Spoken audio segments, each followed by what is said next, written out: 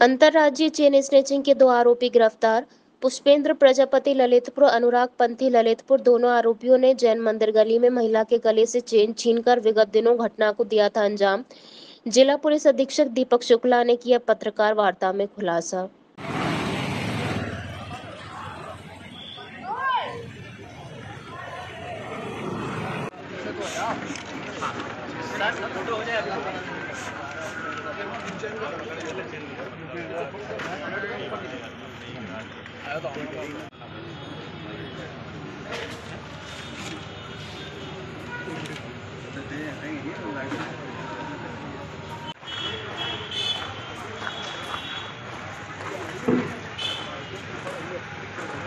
চাচা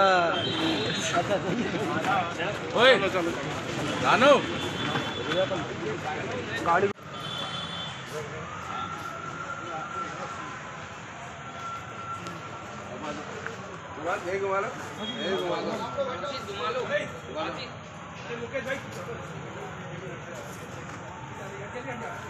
तो हमारे बासौदा शहर कस्बे में एक चेन स्नैचिंग की वारदात हुई थी।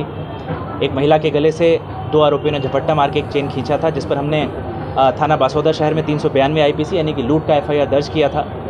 और जो हमारे दोनों थाने हैं, हमारी तकनीकी टीमें हैं, हमारे एस के नेतृत्व में हमने पूरी टीम को काम पे लगाया था। लगभग एक सप्ताह तक लगातार इसमें अलग अलग बिंदुओं पर काम करने पर हमने इसमें जो दो आरोपी थे उनको चिन्हित किया। ये दोनों ही आरोपी ललितपुर, उत्तर प्रदेश के रहने वाले हैं।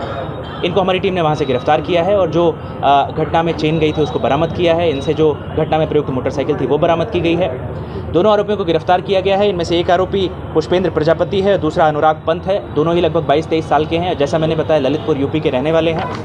ये दोनों ही आदतन अपराधी हैं और इसमें से जो मुख्य आरोपी है पुष्पेंद्र प्रजापति, उसके लगभग 19 अपराध हैं।